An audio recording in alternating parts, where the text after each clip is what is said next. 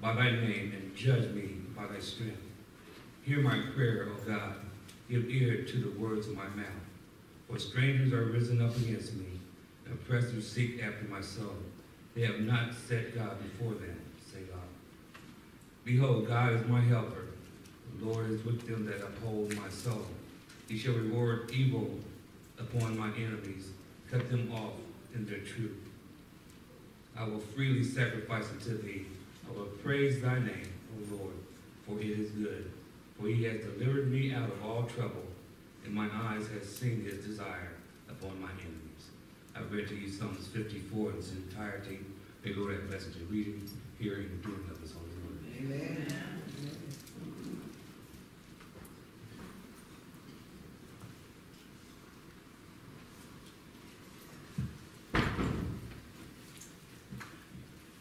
Let us pray. Our Father God, we come thanking you for this day. We come thanking you for all that you have done for us. You've been good to us. And we just want to say thank you. We come asking that you bless this study tonight as the man of God teaches on us, on relationships, that we might open our minds and our hearts that we might receive the, the teaching, that we might allow to be able to go in our hearts and minds that might help us to how to deal in our relationship. We just thank you for this opportunity to learn more. Uh, we give you all the praise and all the glory. We ask blessing upon our pastor right now, Father. Touch him. We thank him for you put it on his heart, Father, to bring this teaching to us. We just ask that you bless everyone that are here and the ones that are on their way. We ask once again that you bless the sick and afflicted wherever they might be, Father. Just touch them right now, Father. Father God, we need you right now, Father. We just ask that you bless all this world right now, Father. There's so much turmoil all over, Father, various reasons that we don't understand. But we know what you said in your word, Father. But we just want you to guide our leaders, Father, that they might make the right decision, not of their own will, but based upon what you touch their hearts and minds, Father. And we give you all the glory and all the honor. And we thank you and praise your holy name. We ask blessing upon the, the teacher this evening, Father. Open his mind, crown his head with wisdom and knowledge, Father, that he might stand and declare your holy word and how to live in a relationship. And we just thank you, Father, for last night teaching. In your son Jesus' name, amen. I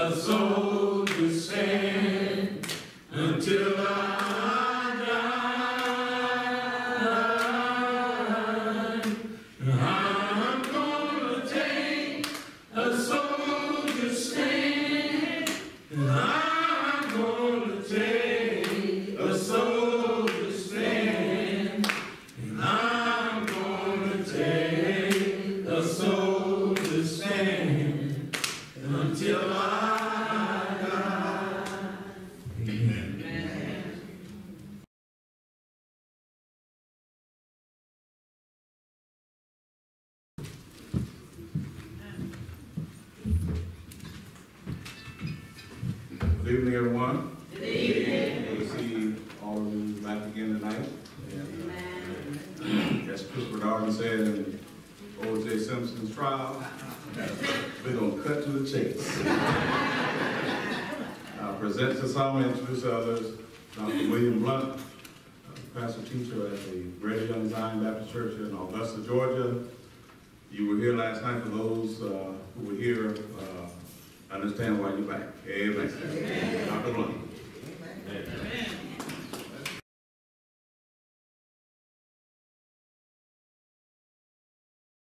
Uh, let the words of my mouth and meditation of my heart, Lord, let it prove uh, to be acceptable in your sight. For Lord, you are my strength, and Lord, you are indeed my Redeemer. And this we ask in the name of Jesus the Christ, we pray. May we all say together, Amen. Amen. Amen. Again, to the pastor of this church, my brother, my very official host, uh, and to his beautiful wife who graced us today to have lunch with us today. And uh, so we're very honored to have, be with her. My big brother from another mother back there, my little brother from another mother, Dr. Poole. Uh, it's good to have all the ministers of this church as well. We're glad to be here. Amen? Okay, you know, we talked about family last night. We talked about understanding that family is a foundational institution. Everything is based upon relationship. If we don't do anything in this culture we ought to do well, it's a relationship. We're going to make an impact upon this world, it's going to be through relationship. We're going to change the culture of society, it's going to be through relationship. Relationship number one, begin with God. Benefits of everything is not based upon position, it's based upon relationship. There's a lot of people, man, who are jealous of folk. They're jealous. Why are you jealous of people? You know, no sense to being jealous of anyone. People are getting benefits based on the relationship they have with God. And if you work with your relationship, you will increase your benefits. Amen? So, and we don't do relationships well. We gotta do relationships much better. Gotta do relationships much better. We have to be able to understand that, how relationships work. But there are ten things that have to be in everybody's marriage. In your terms of your relationship, you want to build a relationship, you got to put them in a priority in order of what makes a relationship work. And I'm going to just do these 10 things with you. They are in the order of their importance because everyone is going to be related to everyone. If you write this down and you do these 10 things, then you find that your relationship will move to a whole different level. Whole different level, amen? First of all, relationship starts with love. It starts with love. It starts with. It's got to start with love because number one, love comes from God. Love is God. Love is God. Here's the problem with most people about love. Most of the problem we've been finding out is happening in relationships is that people are not marrying each other, they're marrying situations. Some people marry because they love the idea of being married. So it's really the situation they're involved only part, bad problem about that is that situational relationships will bring you together, but they won't keep you together. If not situational, we have what's called spatial relationships. Now, spatial relationships is what we normally call relationships over rebound. And these are relationships that you actually get hooked in with someone else because you're hurt over the loss of someone else, and then that person takes up a space in your life. It takes up the space of the person that's been created. And a lot of people don't wait till they get healthy before they jump into another relationship. And one of the reasons why, let me tell you something. One of the reasons why relationships don't work because you go into the relationship already attached to a relationship. So you bring that relationship into another relationship. It's a special relationship. Well, I didn't know when you over a relationship. Well, I told you last year that the opposite of love is not hate. Because hate is nothing but inverted love when it comes to a relationship. You know why you hate someone? You hate them because you don't want to love them and you still do. That's why you hate them. You know, you divorce someone, you say, he got the nerve to come to that house bringing that woman with him. But if you divorce, I mean, why should that bother you? See, let me tell you something. You'll never know. The opposite of love in a relationship is indifference. But as long as I'm emotional, as long as I am emotional about you, I'm still attached to you. If you talk to somebody about a past relationship and they start crying, they still attached to that relationship. Because you don't wonder why they can't get attached to you because they're already attached to someone else. Fred's gone, they brought Fred with them. So a lot of times, man, you get into spatial relationships, people take up a space. When you ever get healed, then you're going right back to divorce because the person who normally takes up the space is not the person you want to take the place. And then the job description for that person's life ends. And so those are the things that normally happen in a lot of relationships.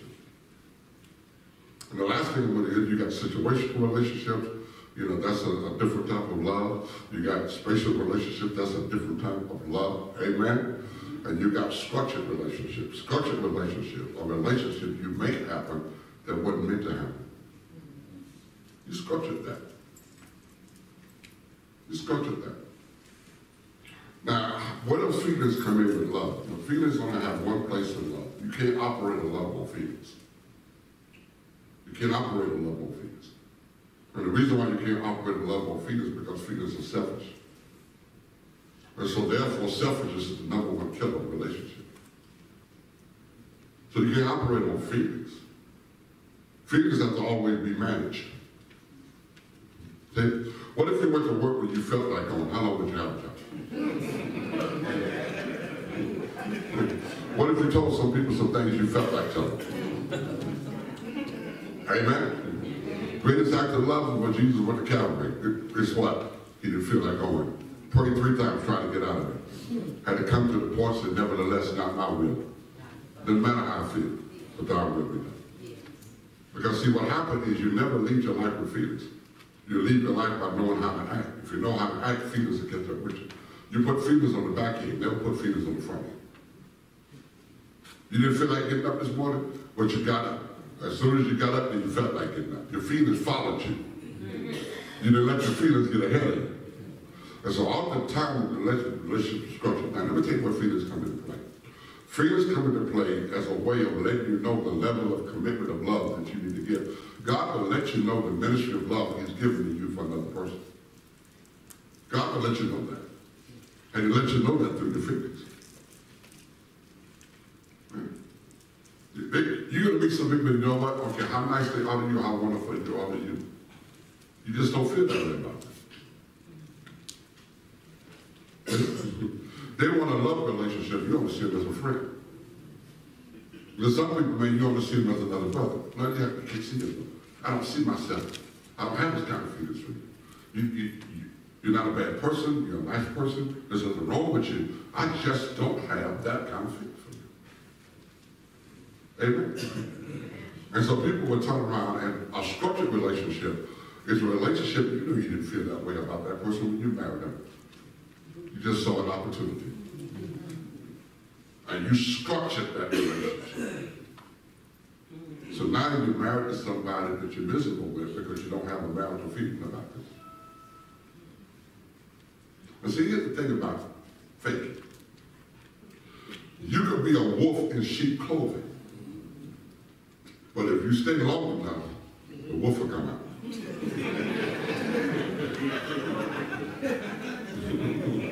yeah, it's almost like some people, I hope I'm not boring y'all tonight already, but it's almost like some people, you know, trying to drag people into church so they can marry. But I got people in my church, they know I'm not gonna marry nobody that's not in the church. So they go ahead and, you know, get some slick off the street. And that slick wanna get you, so he start coming to church with you. He start coming to church with you. And he'll come to church with you till he gets you. Then after he gets you, he'll go back to whatever he was. But that's what people do. And I have people always say, he started out good and turned bad. Nobody turns bad. We already bad. We're already bad. Amen. Nobody turns bad. Everybody already bad. Amen. Amen. Let me tell you what happens. You don't turn bad. You just fake good.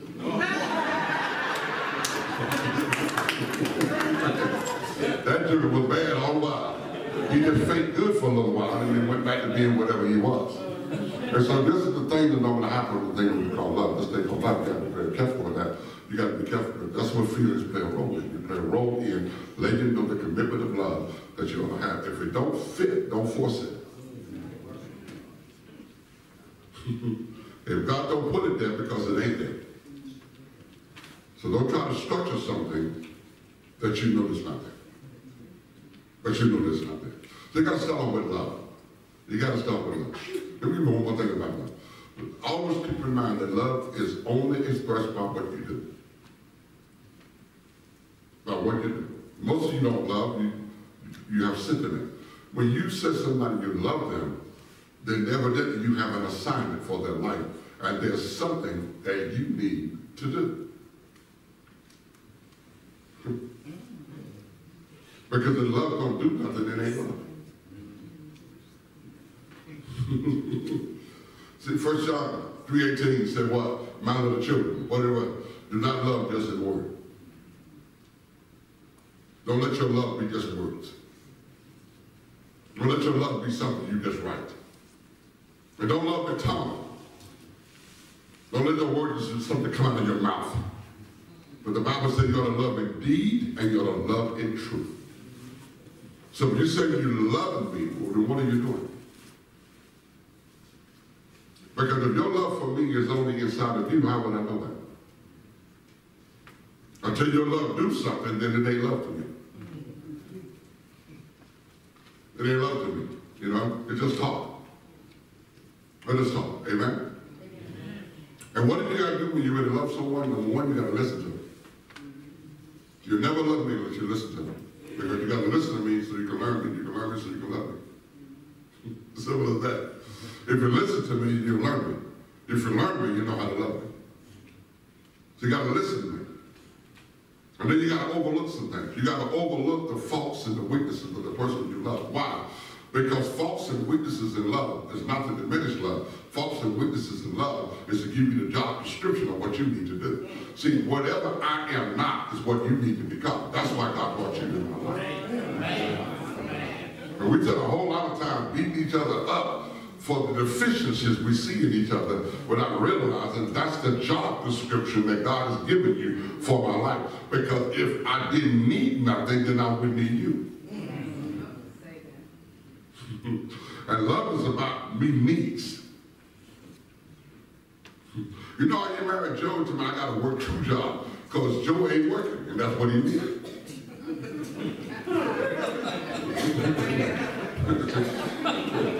God know, God know you, God know you chose a man that didn't want to work, so he made sure because he blessed him enough to bless him a woman that didn't mind working. You know, so whatever that person is not, that's what you want to become. That's as simple as that. Because love has to have something to do.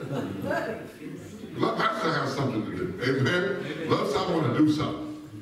When you love somebody, then their faults and struggles in their life is not an obligation, it's an opportunity. So that's what you say. Hey, I want to see your obligation so they become opportunities to show you the love I have for you. Love wants opportunity. That's why some of you real sophisticated career women, they don't never get nobody because ain't no man gonna marry no woman ain't got no need. He's not gonna marry you if he ain't got no need. I don't need no man. You ain't gonna get one either.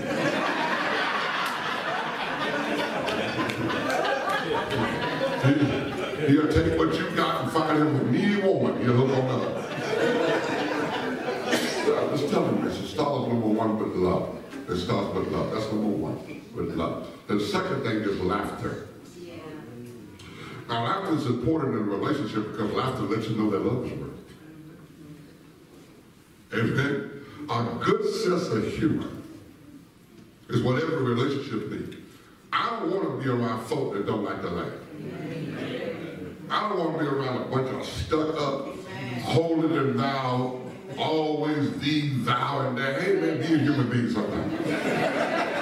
Everybody has to laugh. Laugh at each other, man. We do, whenever we're together, all we do is laugh the time. Just laugh. You got to be laughter is the best medicine. The Bible said that. But laughter is important in relationship because laughter lets you know the temperature of the person's heart that you're dealing with.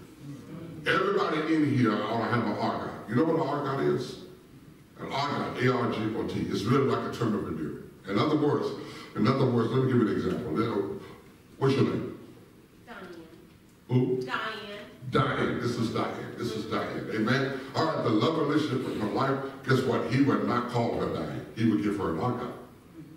He would not, I call her Diane, but he can't call her Diane. He has to give her an argot. An argot, baby, sweetheart, sugar, honey, boo. Amen. So therefore, therefore, as long as he calls her by an argot, an argot is like a nickname, you know. You know, particularly in the black community, we like it for nicknames. Because the nickname describes the person. it describes the person. So, so when you give an argot to someone, then that's a way to, that let you know that your heart is right with them. Your heart is right with them.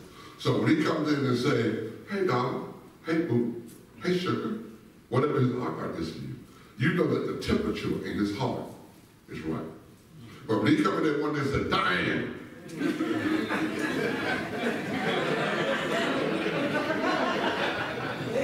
my wife called me honey, but I know I'm in trouble if she said, I hear you, Reverend.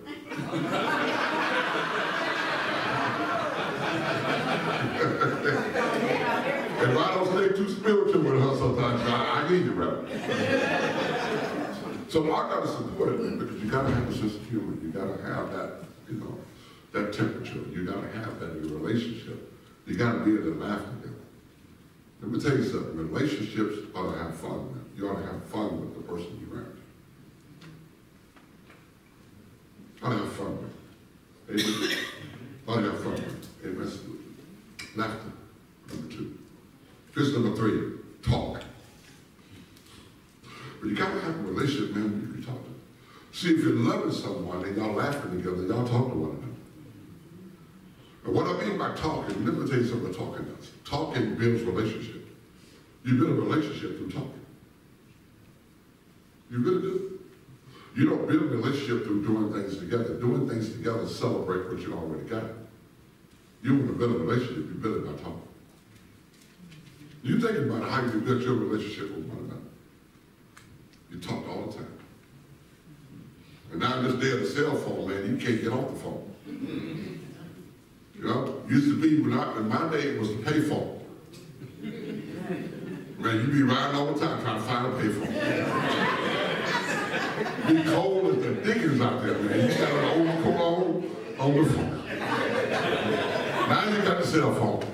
Boy, that cell phone, God, just go crazy on that cell phone. Uh, I call me when you get in the car. Right, you got to get a car, right? You're talking all the way till you get to the house. You okay, okay, baby, I'm in front of the house now. Okay, you go to whatever you do, you drop it back off. Call me when you get back in the car. You call me when you get back in the car. Okay, call me when you get back in the car. Amen. Well, maybe I'm here now. I'm here now. Let me get in the house. Good. Well, call me when you get settled. Well, call me when you go to sleep. And that's what you do a lot of times when you do a teenagers and stuff. You have to manage their talk time. They manage how long they talk on the phone. Why? Because they know that they're going to talk on something. Relationships are built by talking. What do you think the enemy, the enemy's greatest strategy? He want to mess up your relationship with God. How does he mess up your relationship with God? He breaks up, breaks the communication. Mm-hmm. He makes sure that you don't talk to God and makes sure God does not talk to you. That's why when you get ready to read the Bible, you go to sleep. Mm-hmm. Can't even get through one chapter. Read a newspaper from cover to cover, one chapter Bible. enemy knock you slap out. You ever come to church and the preacher preaching, and guess what? You ain't even think about what he's saying. The enemy got your mind on what you're gonna wear when you get home tomorrow, what, what you gonna cook tonight, or some movie you saw the night before. Because you don't want you talking to God. You don't want God talking to you. And you don't want you talking to God. That's why you ever, you ever got in bed, act like you gonna pray when you got in bed. How long did it last? Put you out to sleep, amen? So you gotta have talk. And talking is not about um, something wrong all the time. Baby, we need to talk. Then automatically you're in the defensive you know something, you up to something. Talking is just like talking. Talk about everything. You gotta have that in a relationship. Don't stop talking. When you get married, stop talking. And stop talking. You know why families are so disjointed now? Because the enemy has a strategy to keep them from talking to each other. When I grew up, we had one TV in the house. That means everybody had to come look at the same TV. The whole family was in the room with each other. Because there was only one TV. You know, you know, granted, you know, everybody had, a, I don't know about down in uh, Indiana, but I know down in Georgia, everybody had a floor model TV that didn't work. then you had the little TV on top of the big TV.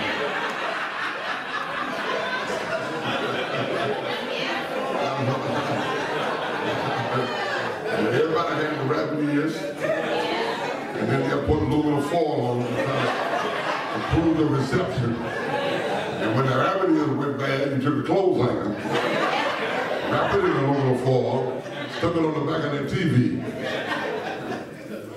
But it forced everybody to be in the same room. Now the enemy's got it, we got TVs in every room. So nobody talks to each other, everybody just goes to their room. And we don't have a relationship with each other. That's why when my kids were growing up, I did not put TVs in their room. They want, Dad, I can be have to, no, no, no, come out the room. You need to come out the room. And we all sitting here together. See? Husband and wife, I know in my house, you know, we don't look at the same things. So wife got our TV, I got my TV. You know what I'm saying? She, she go in there, close the door, look at what she want to look at. I do, I do marriage retreat. The marriage retreat will tell me we had to get where we can't go but one hotel. That's the Embassy Suites. We go to the Embassy Suite. And you know what? Men say, please, Pastor, take it to the Embassy Suite. Why? Because there are two TVs. and I got to be stuck in that room with that woman. So I fooled one day. I took him to Ridgecrest in the, in the, in the, in the Black Hills Mountains of North Carolina. I took him to Ridgecrest. And Ridgecrest don't have no TVs. Boy, them being like the stir crazy. Three days? I said, it's time for y'all to pray and concentrate. Next thing I know, they all down at the foot of the mountain. They down there talking. At 2 o'clock in the morning, they still talking.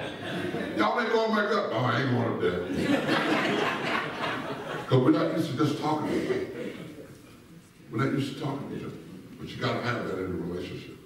Number three is talk. Amen? Did it make any sense? Yeah. So if you're loving each other, you're going to be laughing with each other. If you're laughing with each other, you're talking to each other. Here's number four. It's called involvement. Involvement means working together as a team. Working together as a team. Let me tell you something. God does not bless the individual in the relationship. He blesses the team. You want to see a lot of things could bless you, but guess what? If you don't bless the relationship, it's not worth it. So God wants you to do things together as a team. Involvement as a team. As a team, see? And so therefore it's very important that you understand. Okay. Number five. I think it's five. Five. Number five is called friendship. Now, don't get it wrong. I'm not. I'm gonna get into personal friendship in a minute. This is not personal friendship. Uh, this is the friendship every relationship needs outside of your marriage. Because see, everybody can't meet everybody's every need. You- You're not going. You can't meet my every need, and I can't meet your every need. There's some needs you have are only generic to you. So you need someone else in your life of the same sex and straight. we used to say the same sex. We gotta qualify that now.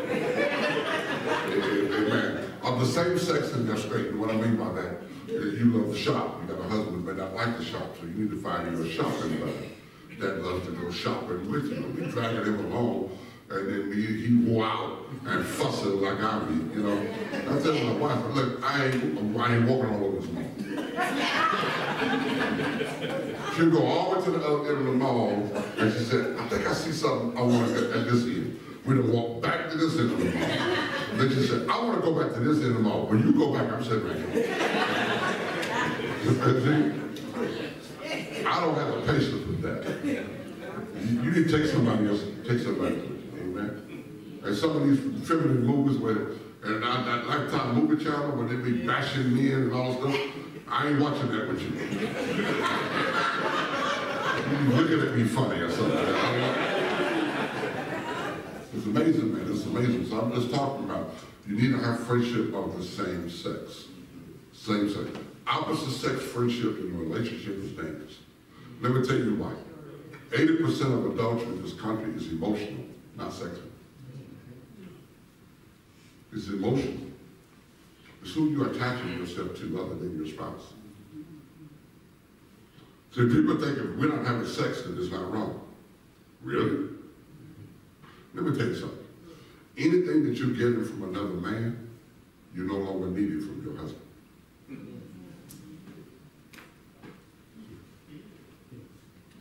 Anything that you're getting from another woman, you no longer need it from your wife. So if you don't find another woman that you can talk to and tell all your problems to, then you, you won't tell your wife anything. Because you already got a woman doing that. If you find a man that you can just be a buddy to, then you won't be buddy with your husband. See? It takes away from the relationship. And let me ask you a question. What woman or what man should even want to be friends with somebody else's wife or somebody else's spouse? See, men ought to talk to men, men ought to talk to women. Everything in our church, you know, uh, I don't visit the women in my church when they're sick or whatever. I don't visit them. They got, they got husbands. I just ask their husbands. How they do? Mm. And I asked their husband, be sure to tell Donna. The pastor asked about it. Let the husband say, you know what, she's right here, Pastor, you want to talk to her? With your permission. But the only access I have with your wife is through you. If I got something I need to tell her, I tell you. It's called respect. Yeah. You're gonna be my best friend. You'll be my best friend through my wife. That's how you be my best friend. I got a pie I want to give you. Okay, well, just give it to her. She'll make sure I get it. See, you don't want to get yourself caught up into because people can have motives that you're not even be aware of. Amen. And here you are as innocent, and their, their, their motives are totally, totally different. Yeah. You know, some people watch you because they want to replace you.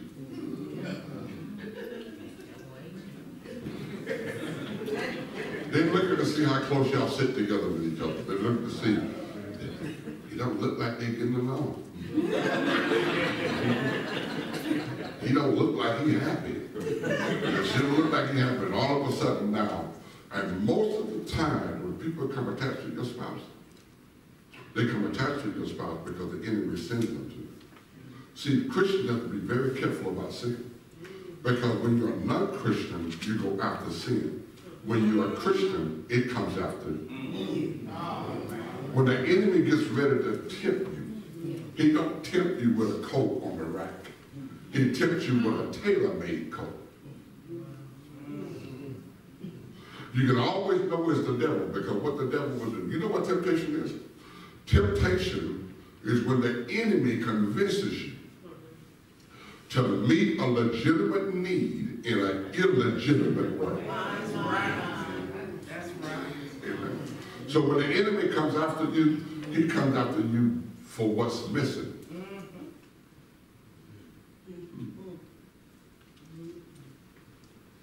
He don't never tell me I look good. He don't never compliment me on my looks. And not slick on the, on the, wa- at the job saying, I love your hair. How you look good today. When he was saying, my husband never told me.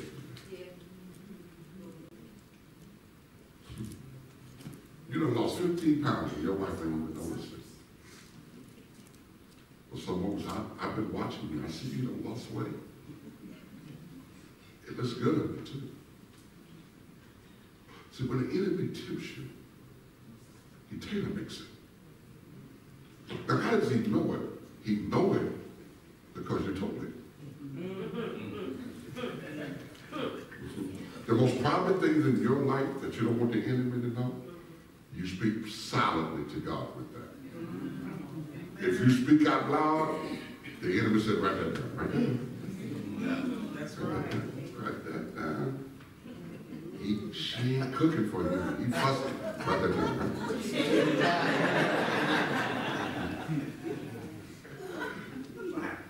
My dad said, if you ever get something good, before you start celebrating too long, check out the return address. Mm. Never worry about how good it is. You better concern yourself about who sent it.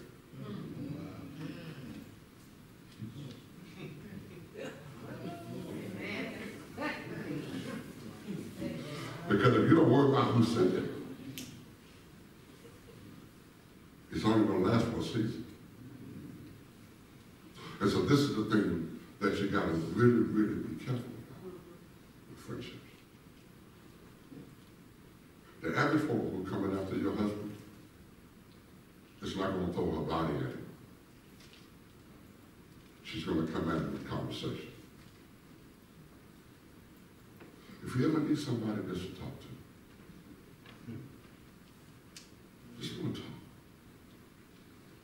And we get bonded with each other. Because guess what? Men love to be talked to. I had come to me and said, you don't ever talk to me. You don't ever, you got a mouth. You talking to somebody. That's why he ain't talking to you.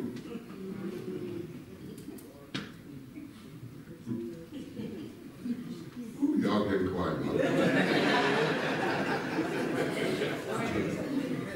But how many of y'all know I'm telling you the truth? See, one of the things that the church has got to do, we got to be, become more relevant in our teaching because people need something to take back with them. Too much of what we teach at church.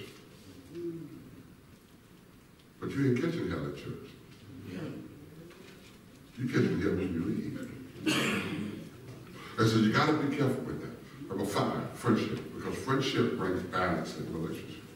So now you're loving, laughter support loving, talk support because you're laughing, involvement makes you want to do things with one another. Friendship is a balance. Here's number six. Number six is called integrity. Now, why we put integrity in number six? When you build a good relationship, you got balance. Now you got to tell the truth to hold it up. Because one lie can bring it all the way back down. One lie can destroy a whole relationship. One lie. I see, how you get forgiven for lying, it depends on how good a liar you are. See my brother right here, my brother here, he's from brown skin. You know, he's probably not a very good liar because he, he, his, his skin may change color. You remember, you remember um, that picture called Why Did I Get Married? And in the picture, the character was named Marcus, and she always knew he was lying. You know what I'm saying?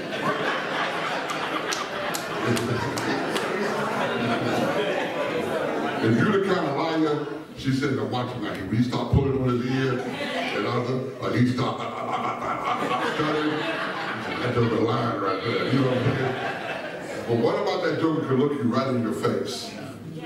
Put his hands on the Bible, swear on his mama's grave. have tears coming down his eyes and your eyes. And then you find out later on that Joe was lying to you. Now you begin to question everything he ever told you. You probably lied to me you told me you love me. You lied to me, probably lied to me you told me you were going to the store. I know you stayed there too long. You know. So integrity is number six because you got to tell the truth. You got to be dependable. You got to be trustworthy. You got to be dependable. You got to be trustworthy. I got to know I can trust you. I can know I can. That's a pet peeve of mine. Don't tell me nothing you don't do.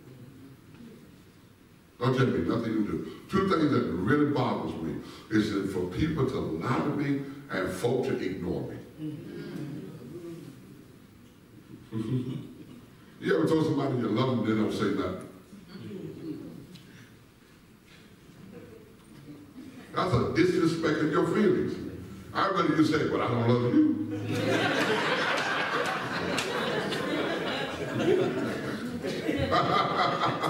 I mean, I can handle that. Can you handle that better? Yeah. You said, I said I love you. Yeah, I heard you.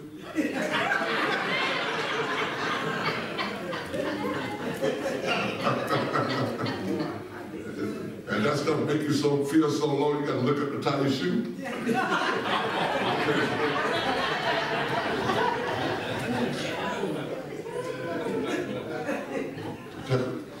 Number seven. This is what you gotta have a relationship. How many of y'all like these so far? You like this? Yeah. It's number seven. It's called adaptability. Now that we got a good relationship going and we're telling the truth, we got to learn how to adapt to one another. We got to adapt to each other's differences because you got to realize that the person that you're related to is not a Xerox copy of you. Mm-hmm. So now there's some things about you I need to adapt to.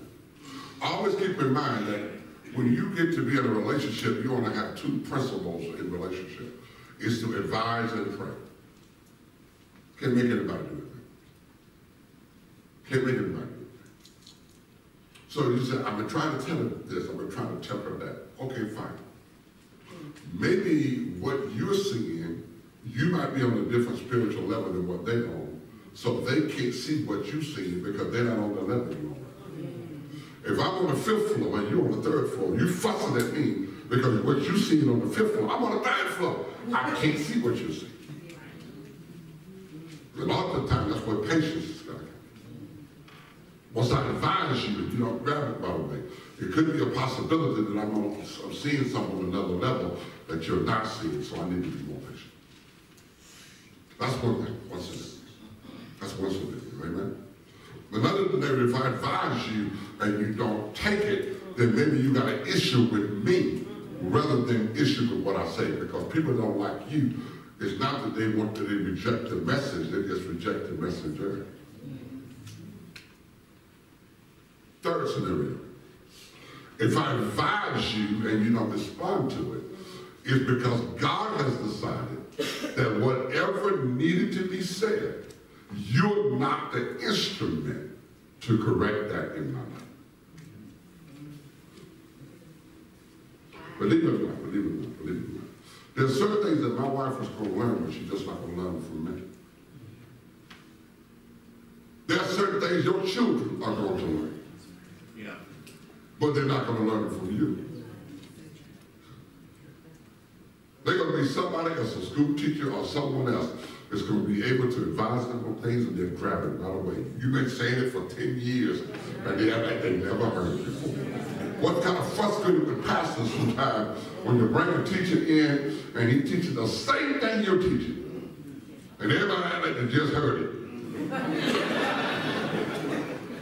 But you never know. You may not be the instrument that God wants to use. I never get offended when my people, people, I'm a counselor. I got a lot of people in my church, you know, I tell them don't to me counseling in the first place. I tell them all the time, you want to come to counseling, come to church. I counsel every Sunday, every Wednesday. We do multiple workshops throughout the year. We are a teaching ministry. That's all we do. Multiple workshops throughout the year. We have a whole month in January just on marriage. Just on marriage. We don't talk about anything else. Every sermon is about marriage. Every Sunday school is about marriage. Every Bible study is about marriage. Then we got segmental workshop, you know, workshop just for the men, workshop just for the women, workshops on what do you do when you marry the wrong person.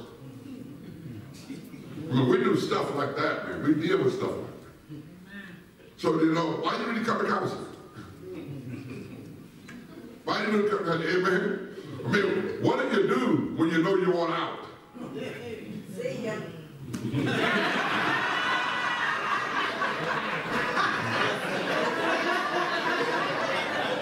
But I'm she said that. I'm she said that because let me tell you something. Let me tell you something. And it's easy to say that. You really say I want out of the relationship. But you still have to wait on God to take you when. Because if you get out at the wrong time, then you get out and take that relationship with you. See, oftentimes, you ever know, I did a thing not very long ago a series in my church on God's dream for your life. And what we did, we let you know the life starts with a dream. Everybody starts with a dream. God has to give you the dream. And when you move from the dream, the second stage is decision. Once God gives you the dream, you got to make a decision. Because the dream don't work until you wake up. You can't work on the dream until you wake up. And now you got to make a decision. A lot of y'all been dreaming for a long time, but you didn't make a decision. Decision means you got to give up something. And then when you go through the decision, you have to go through what's called the delay. God always delays you. Gave Joseph a dream. Look it. took almost 20 years before the dream came to. Gave Moses a dream. took 40 years before he got started. It's always a delay. Gave Adam a dream and told Adam, hey, a Savior's going to come no matter what sin. He's going to, Savior's going to come. He's going to crush Satan's head. And he's going to bruise Satan's, your heel. And it took thousands of years for that. Came to pass. And the reason why there's such a delay is because God often works on you before he works on your project.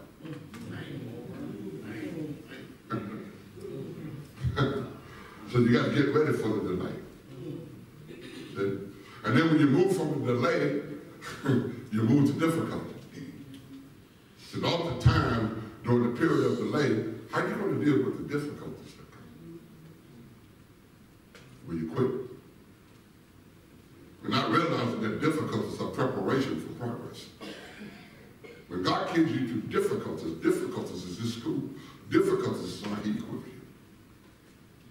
And then you move from difficulties, what call the dead end. When it gets to be impossible, and that's when people give up on the dream, they believe that maybe I didn't hear right. Because I'm at a point now, I don't even know what, nothing else to do. I don't know anything else to do. I've run out of options. Just imagine that he told the children of Israel, he told them, gave them a dream, they would get to the promised land, and the first thing they ran into was difficult. And then difficult to let the dead end, they wound up in the Red. Amen. And then when you can move from the dead end part, if you can hold on when you go through the dead end, Well. then deliverance Yeah, is right around. yeah, yeah. Six, the six phases of a dream. The six phases of a dream. So oftentimes, just because you're ready to go may not mean it's time to go. Because oftentimes God has to disconnect you before he can connect you. So God got another man for you. This man ain't worth a dime you with, but God got another man for you. But he got to take time to disconnect you from him so he can connect you to this one. So you better be careful about seasons. Adaptability. Got to adapt to you. Got to adapt to you. Amen? Because you get into a relationship, man, you go through, remember I told you last year what happened? When you get into a relationship, living with somebody is totally different from dating someone. Mm-hmm. Because I had to go through this thing called alarm. Now I'm shocked at some of the things that I see when I start living with you. I didn't know you were that nasty until I started living with you. Just a long, man. Anybody went through a long stay? Man, I didn't know you had that kind of temper. I didn't know you got mad at like that. I didn't know you sleep like that. I didn't know you snow so hard.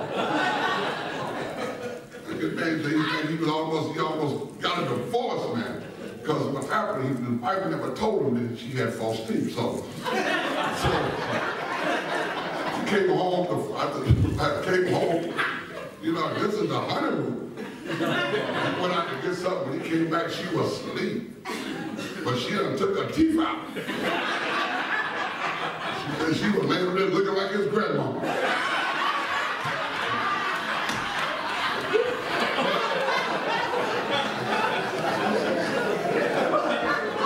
That thing was wearing him out, man.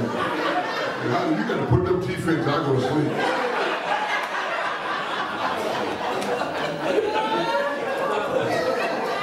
I said, I know it gotta be a bad sight, but she got some soup coolers over her.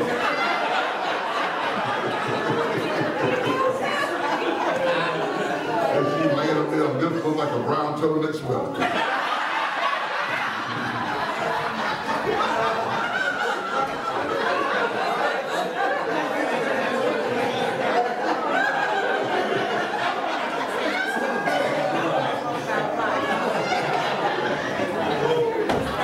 Everybody go through, everybody go through what they call a Some some things I have to adapt. to, adapt to. Just gotta adapt to it. So adaptability. Here's number, here's number one. Number eight is called tolerance. See, after I've adapted to some things in you, now I got to tolerate some things about you. Because some things just who you are. Amen? You can fuss all day about him picking up his clothes, but you don't find out. That's just who he is. You know, you can fuss all day about him not putting the toilet seat down. You know, just go there. I never understood that argument. Because most toilets I walk into, you see the toilet before you go in there. Y'all act like y'all back in there or something. You that much of a hurry. You gonna sit down in the water?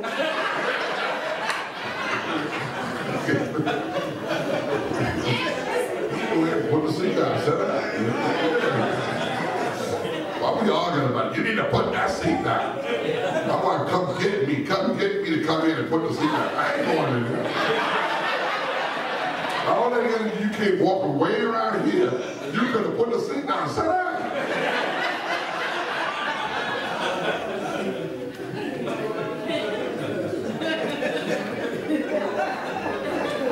So I think this, this is the order you have to build in a see how build a relationship? Loving, laughing, talking, involvement. Balance the relationship with friendship. Don't take your wife to the ball game, you know, she don't like, you know, she don't like ball. She don't like that. You know, give me the ticket. Integrity, telling the truth. Adaptability, adapting to each other's differences, knowing how to turn a conflict into a compliment. Tolerance, something that ain't worth arguing. Number nine, sex. Look what number sex is in relationship. The reason why relationship don't work because you put sex too high, it's too high. See, in order for you to have a good sex life, you gotta be loving, laughing, talking, working together. You gotta have fairness in a relationship. You gotta work on telling the truth.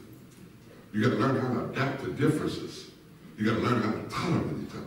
Because see, sex in a marriage is a celebration of relationship. What you do outside the bed determines what happens in it. So to get me the right relationship, there's a whole heap of woman or whatever you ain't got yet. That's what sex is. Last one is called sharing. Sharing is number 10 because it's, it's called intimacy. It's when I really let you on the inside of me and you get to know my secrets, my, my things. You know, like the Bible says, a relationship has to be intimate. Why? That's why he created Adam and Eve naked so nothing could be hidden. That's right. See, transparency will make me close to you. It's stuff I know about you that nobody else knows about me. See, right now, all of you here, when you get married, your husband sees part of your body that nobody else sees but him. You don't even let your dad see that. Maybe you don't even let your mama see it anymore. So the same way your life has got to be like that. There ought to be an intimate level of life in your life that nobody knows about that, about you, but your spouse. And because we don't share on that level, we're not close. Relationship is not meaningful. Now, let me do this right quickly, amen. And I promise you I'm gonna let you go. In order for me to love you right, I have to be your friend. It's, it's amazing. How many of y'all believe Jesus loves us? But of our relationship will not occur until Jesus called us friends. He said, I call you friends. Because friends know your secrets. And one of the things about being with the Lord, there's a secret part of our lives that we know that nobody else knows. First Corinthians 2, 9 and 10, he talks about uh, that how God reveals the secret things to each other. And the problem with most of our relationships is that we're just not friends. And friends is the foundation to make love meaningful. Love is not meaningful if there's no friendship. the most important word in friendship is we. That is the most important word in a friendship. The least important word in a friendship is I. The two most important words in a friendship is thank you. The three most important words in a friendship is all is forgiven. The four most important words in a friendship is I want your opinion. It matters to me how you feel. Not somebody who's always doing all the talking. Hmm. It matters to me how you feel. I want your opinion. Those are very important words that you hear from a friend. Hmm. The five most important friends, words in a friendship, is you did a job well. Friends compliment each other. The six more important words of a is I want to know you better. I want to get more understanding about who you are. If you can incorporate all of these words into your relationship, you lay the foundation for building a real friendship. Now, there are six C's to friendship. As I close on that. The first C that I need to see in my friend is commitment. Is commitment. And when you got a real friend and a loving relationship, the commitment should be in three areas of my life. I, I need to see that. I, I need to see that. I, I don't want nobody close to me I don't see a commitment. I call it the three ages that you have to have in a relationship before I call you friend. The first thing I need to see is are you committed to my happiness? See, a relationship is not working if the person is not happy. I mean, who want to be in somebody's life and they're miserable? I want to know, are you committed to making me happy.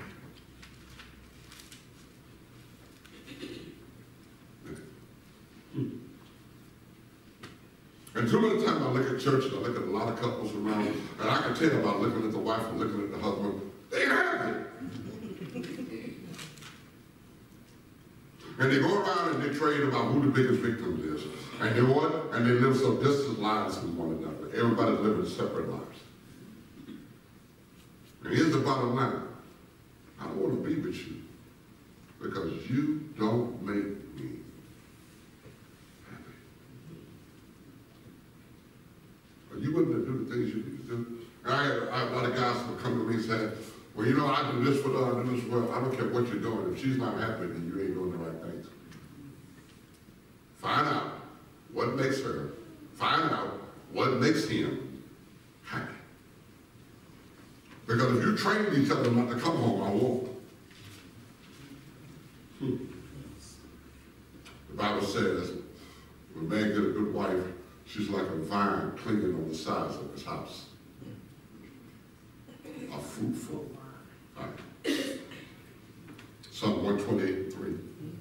She's a fruitful vine clinging. You know what that vine came on the side of the house? Called kudzu. You ever seen kudzu? It just attaches to the house. If you don't watch it, it'll cover. If the temperature is right, it'll cover that whole house. You'll get the way you can't see it. You be committed to a woman's happiness, she's like a kudzu vine. She'll bless every life. A woman don't want to bless one dimension of. She want to bless every area of your life. Mm-hmm. She wants to make you happy. Number one, you gotta go home tonight and ask yourself, do I make you happy? And if I am not, what do I need to do? Mm.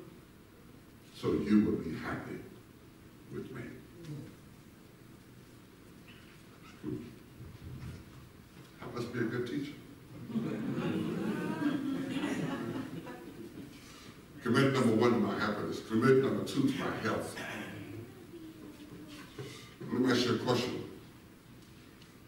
Are you with the kind of person that's really helping you to stay healthy emotionally?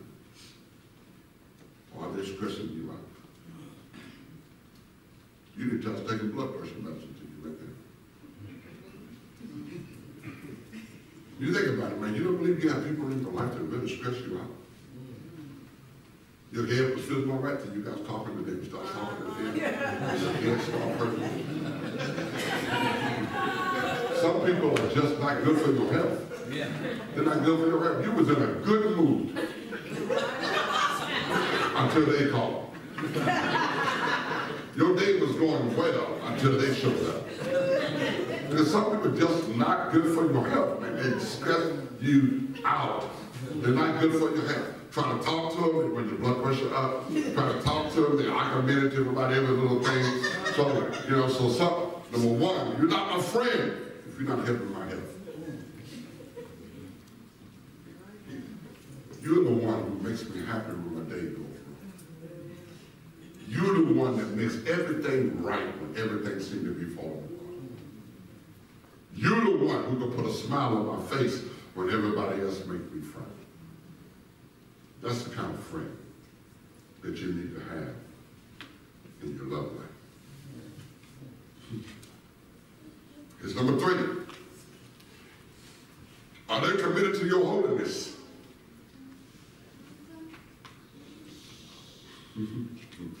Are you closer to the Lord because you're with them? Did it make you want to do right? Did it make you want to talk right? Do you know how to calm you down when you get out of line? Do they make you holy? Did it make you more Christ-like? More in love with the Lord? Amen. So number one, do I see a commitment to those three things? How many of you like to have a friend like that? How many of you have loved somebody to treat you? Gotta have that in your relationship. This second C I want to give you is called consideration. Consideration means friends who let you be you. You know what I'm saying? They ain't got no image. They know you crazy. they know you some sandwiches short of a picnic. they know your elevator don't go all the way up to the top. They know you're a few french fries short of a happy meal. But in spite of all of that,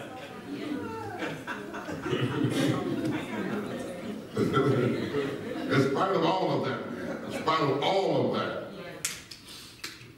they let you be you.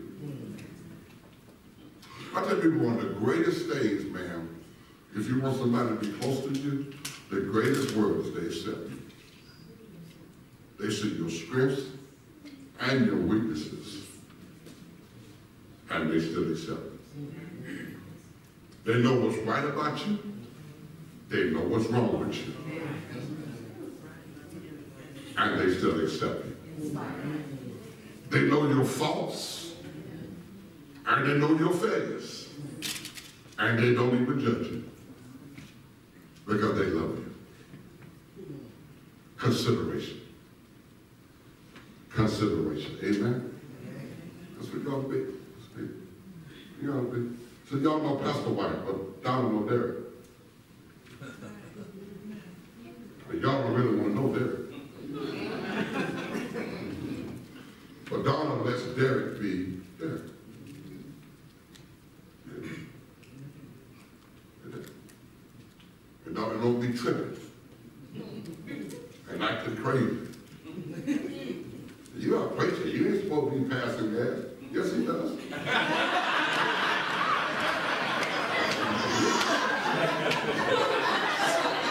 Someone didn't put his finger, his finger. It's motor gas.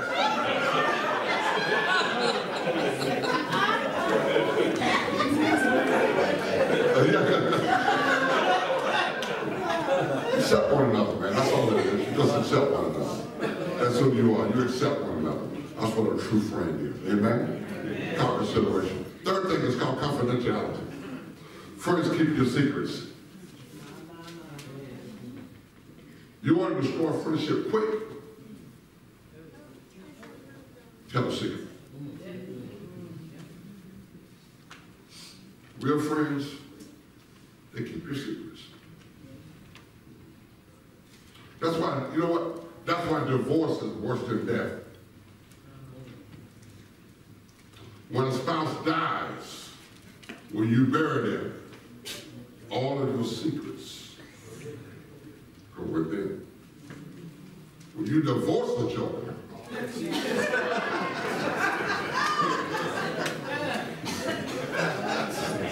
there's somebody walking around who don't even feel the need to protect you anymore. And the first thing they want to do is tell all of your secrets. Amen. I had a real friend, a real big friend. We've been friends since 1989. And he confided some things and we I've confided some things in him. Last year he passed away. His wife actually said, well, all that stuff y'all talking about, maybe you'll never know that. He told that to his friend. She don't even know, man. I saved her life. He went in for major surgery. And I came to see him when he got ready to have the surgery and pray with him. They gave me anesthesia. And just as he got ready, almost about to go under, she asked, don't let him go under yet. Don't, I need to ask him. I need to talk with him. Don't let him go under yet. I said, do you need us to step out? Just thought she want to have a private moment with you. He was a baby, you know, I love you, and all this kind of stuff. Because he really could, should, should not have survived the surgery. He was very, very seriously. You know what? She said, no, y'all can stay. Y'all can stay. And so I said, well, listen, be prayerful. You know, I don't know what she's going to say my and she said, I can't find that other life insurance policy.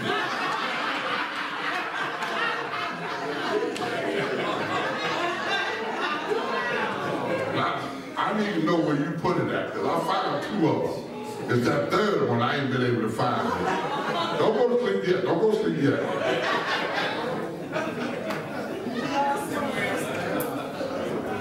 So he survived the surgery. And the first person he called the surgery, he didn't want his wife to come see him, he called his friend.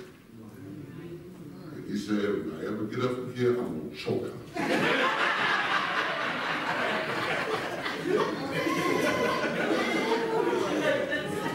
People say some resistant things, don't they? Lady went to ICU, husband in intensive care, and she told him, honey, I'm sorry I'm late, I was out looking at caskets.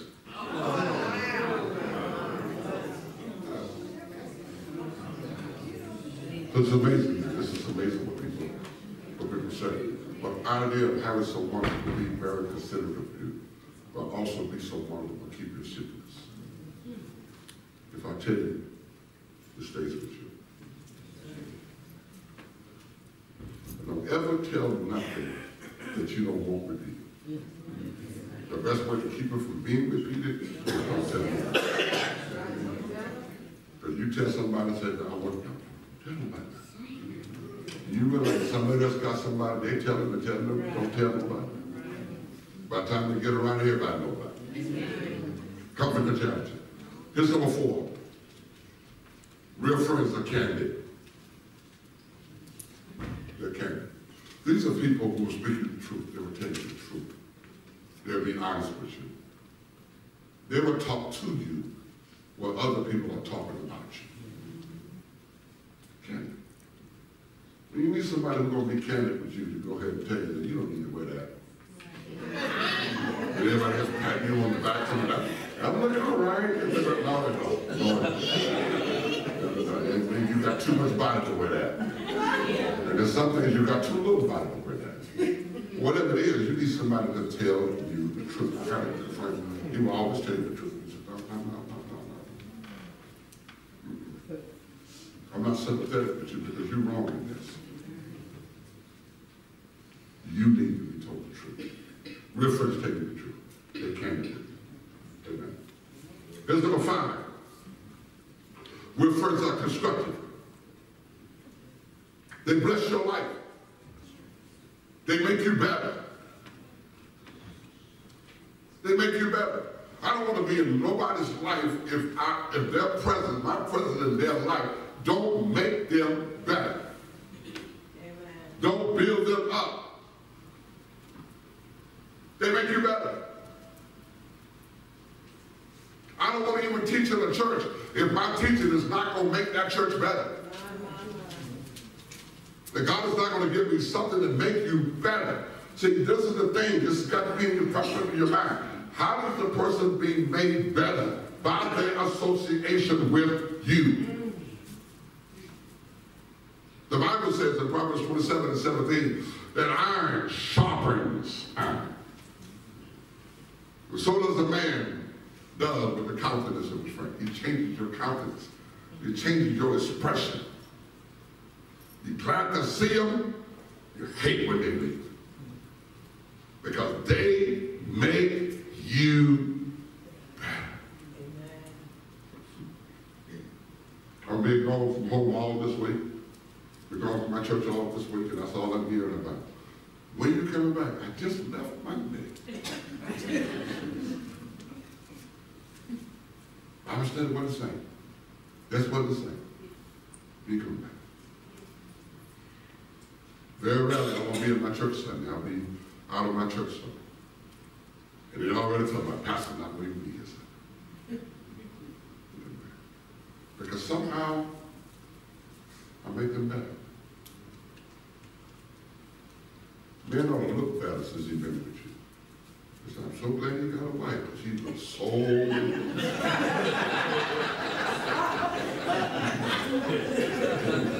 Amen. I him he used to be so ugly that he cried the tears behind his ears.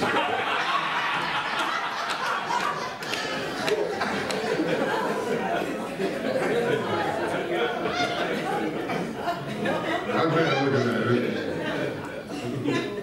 You know you're bad looking. And when he was born, he said when he was born, the doctor looked at him, went back and told his mama we did everything we could. Still pulled through.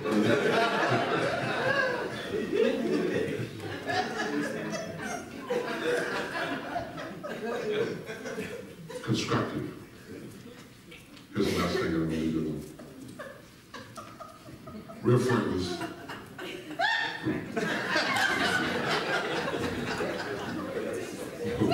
Real friends are consistent.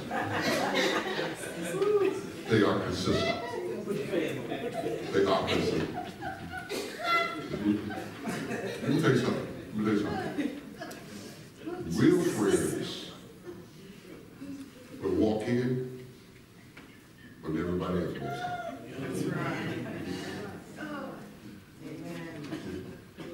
Real friends will see you through when everybody says you are through. Real friends don't. Real friends take sides. Real friends are always on your side.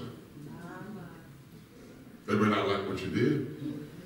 They may not always agree with it. But right or wrong, they stay with you. Amen?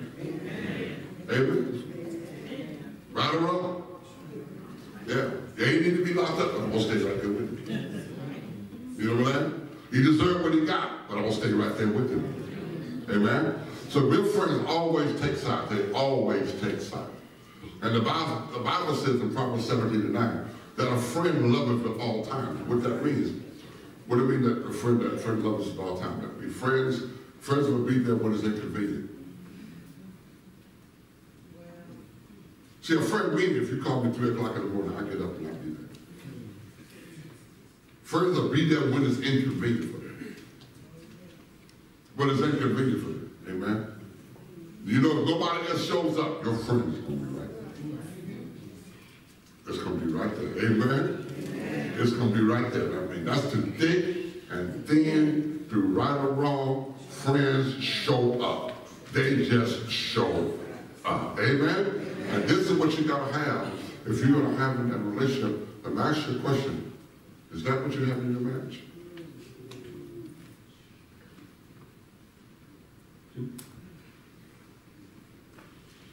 then that's what you need to cultivate.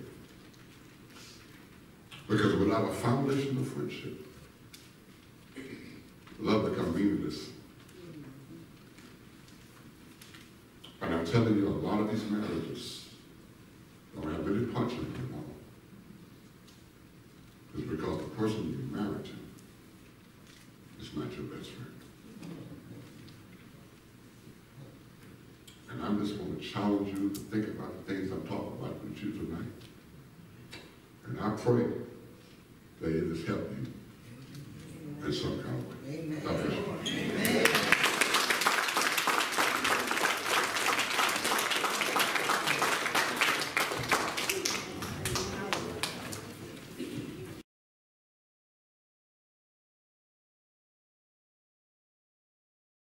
Amen. Again, we want to thank Dr. Blount for a job well done. Amen. And at this time, we want to extend the invitation to the church. Uh, There may be someone here who needs to take that first step in becoming, uh, in becoming uh, a child of God. Uh, There's a whole lot of things you're not going to be able to do or benefit you won't be able to have unless you're one of his children. Joseph Scriven writes a song, What a Friend We Have in Jesus. So if you're here today and you've never given your life to Christ, I always say that's first base. Uh, you gotta cut, you gotta touch first base. And first base is Christ and Him crucified. Paul says that thou shalt confess with thy mouth the Lord Jesus. Believe in thine heart that God raised him from the dead, thou shalt be saved. The heart man believeth unto righteousness, with the mouth confession is made unto salvation. And as we stand, you may have never made that confession. There's a whole lot of people, unfortunately, that are going to hell right through the church. because they hear faking. Uh, and now's your opportunity to come clean with you. Uh, So if you're here today and you've never given your life to Christ, never confessed Christ as your Savior and Lord, now's your opportunity. If you're here and you say, I'm not sure if I were to die today, where I'd spend eternity. And as you know, the danger of not being sure may mean that you may not be. Uh, and as I always say, you don't want to play Russian roulette with your soul. So if you're here and you're not certain, if you were to die today, where you spend eternity, uh, you can know today. We have people trained in the Word of God that can share with you from the Word of God how you can know for sure uh, how where you spend eternity if you were to die today. Next uh, area is if you don't have a church home, one of the things that we are to do as believers is to assemble together in an assembly. A person told me the other week, they said they have church on the internet. There's no such thing. There's no such thing. Uh, you might look at something, but that's not assembling. You're being disobedient. And so you need a base of operation. You need a, a home, a church home to operate from. So if you're here you don't have a church home, and then finally, if you're here and you say, I want to rededicate, recommit my life to Christ. Uh, I want to be a better husband, better wife, uh, better Christian. I just want to do better. We're going to have uh, prayer of rededication if you're here. Is there one? Amen. You may be seated. God bless you. Uh, we want to be a blessing. Uh, and based on last night's offering, we want to do better. Amen. Uh, you know, we can't do everything on prayer. We can't do this on prayer. As I said, you know, uh, we can't pay him, but we can show try. And we got to do better than we did last night. Amen. So don't tip out. You know how we do, but you know, don't tip out. Now, if you don't have anything, that's one thing. But if you do, uh, be a blessing. Because this is information that you can take with you literally to your grave. And uh, it, it, it uh, a friend of mine said that uh, had it not been for him hearing Dr. Blount, he had the divorce papers on his desk. He came and heard Dr. Blount.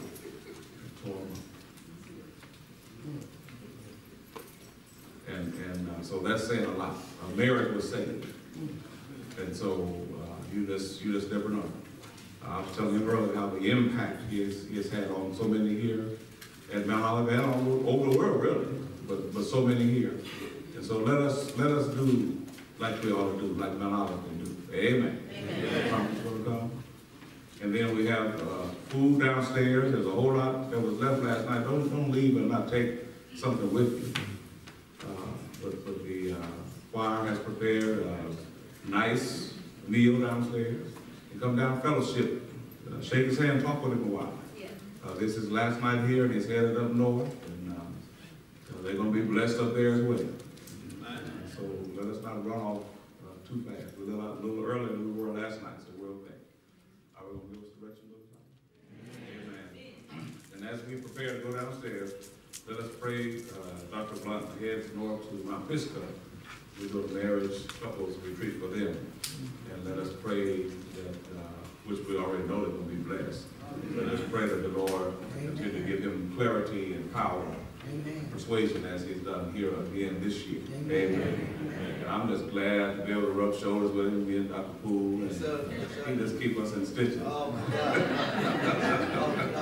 one after another. And it's good to have laughter. Amen. So without any further, uh, any questions, anybody want to do any Q and A together?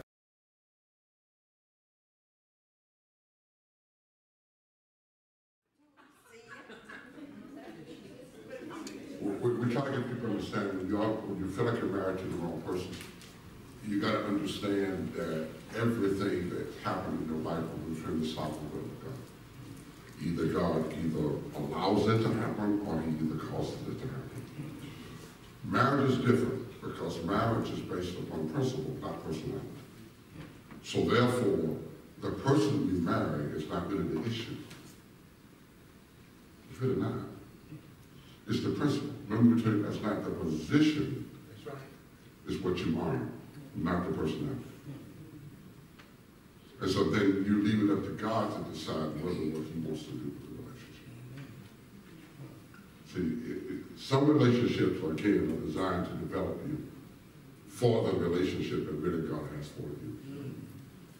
Nothing that God, see, heaven doesn't panic because you make the decisions you make. He already knows you're gonna make that decision. So he ordered the events, it's called working things together to bring you in line with his purpose. And so therefore, you can't say, oh, I'm married the wrong person, I need to get out of this. No, you be the right person in the wrong, with in the wrong relationship. Then if we do, with God deliver you from the relationship, you don't have to be retrained. If you react to a person, you become what they are. Sometimes God will put you in a different situation so that he would see where you are with him. You never know how good you are if all you hang around is good.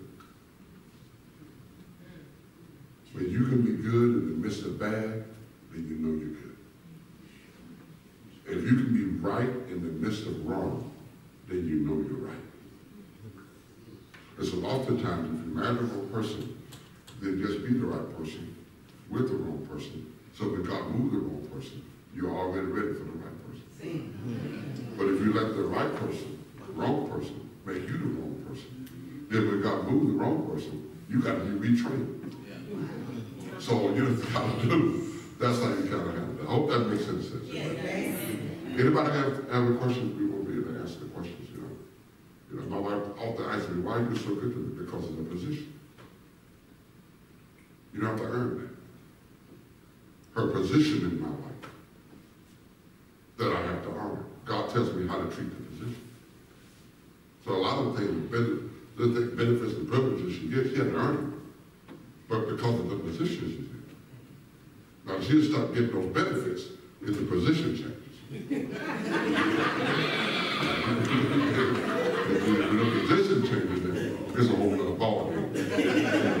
When it comes to that kind of thing. Amen? And so that's, that's important in worship. Any other have any questions? It's a free counseling. five minutes. Have any questions that you would ask? And if I was like that teacher, was I clear? You know? Well, I don't have a question.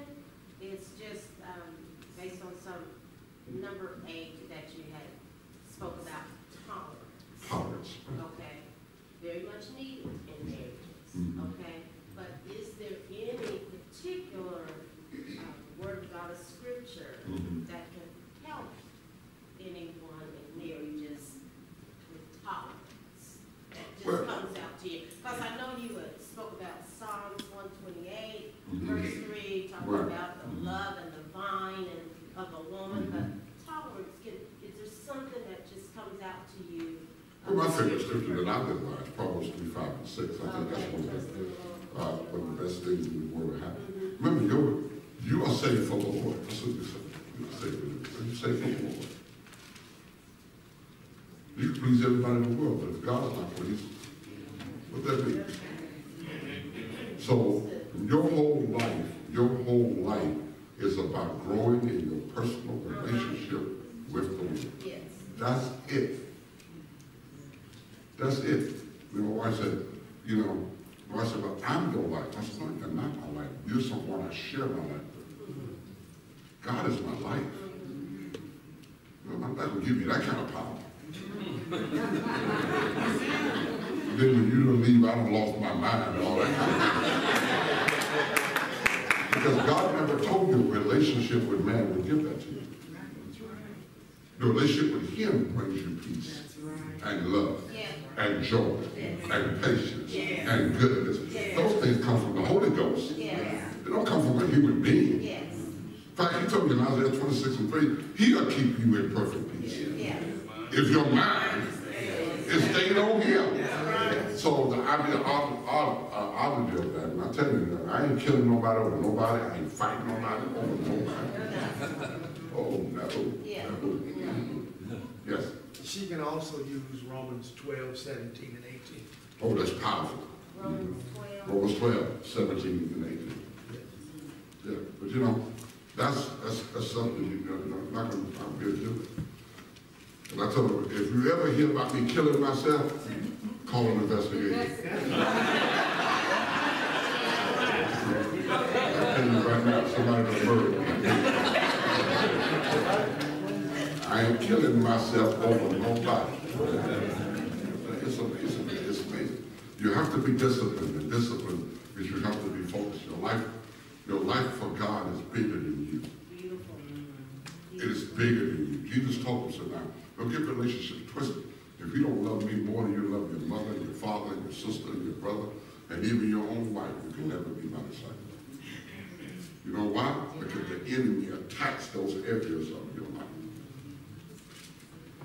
Nothing will take your focus away from God in your personal life. The enemy comes after that. Because he what's closest to you will bother you. And the bother is to distract you and to discourage you. And so what you got to do is keep a relationship in their perspective and be able to do that. I can only be the best in my wife when I'm the best for God.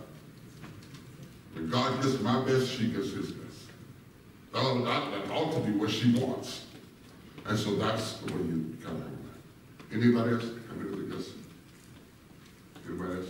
Everybody else? Amen. God bless you. Thank you for your time. Let me say again, this, I, I enjoy this man. I enjoy this man tremendously. And um, enjoy coming this way. Amen. I enjoy coming to be with all of you, be with Dr. Poole. Uh, it's just a big blessing every time I get an opportunity to come. My secretary doesn't even know if Derek White calls what to do. I didn't even know I was coming until they they had already booked it, set it up. You know, you, you know you're going back to Dr. White. Yeah, He's on the VIP list, so he knows. Yeah, when he calls, you know, I enjoy it very, very much, enjoy the fellowship with each and every one of you. We are gonna be over in Mount Pisgah and go to marriage retreat over the weekend, and then I'll be there Sunday, uh, preaching in both services, or or whatever services you got. I don't know, he has one or two, I don't know whether he has one or two or not. It doesn't really matter. But we're gonna be in church with him on Sunday as well. Then we'll fly back to Augusta on Monday, then get ready to go to New Orleans. And, uh, and do a thing in New Orleans, and then get ready to go to Corpus Christi, Texas, uh, and do a thing in Texas. And, uh, and then get ready to go to Myrtle Beach, North Myrtle Beach, uh, South Carolina, and go to Hilton Head, South Carolina. Uh, so we just kind of running around a little bit, but we just thank God for health and thank God for your, your presence. I hope you were blessed this year. I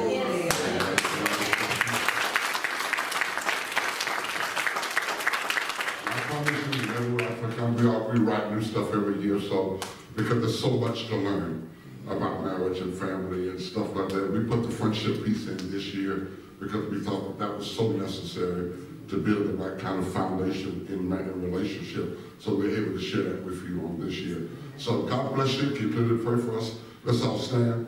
We're grateful for the food. Last night, that chili was kicking like a wild mule. I don't know who cooked that chili, but I Yeah, you put your foot in that girl. Yeah, that chili was on the money. And then they had some crunchy peanut butter too. So we, we, dined sumptuously last night. So I want to thank you so much. This is a great church. You got a great pastor, a great pastor's family, my big little sister over there. And Donna, and, Oh, look at that. I did. Good to see her again. So we're glad to see you all. And God bless you so very, very much. Amen. Father, we are grateful for this time you let us spend together for the season of friendship and fellowship. And we're so grateful, Lord, for this great church, this great church family, this pastor, and these your people. Lord, we are grateful for the time we have with each other, for the food we're about to receive, for the hands that prepared it, for the nourishment of our bodies. Lord, we are truly thankful on this night.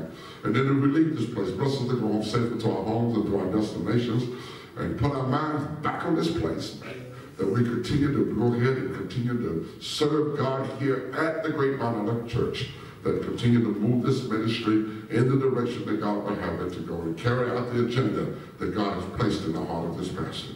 Continue to be, with them and continue to keep them now, Lord, is our prayer. In Jesus' name we pray.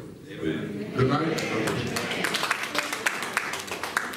There are DVDs, and plus it will also be on our YouTube channel. You go to Mount Olive Missionary Baptist Church, Richmond, Indiana, on YouTube, and then we'll have DVDs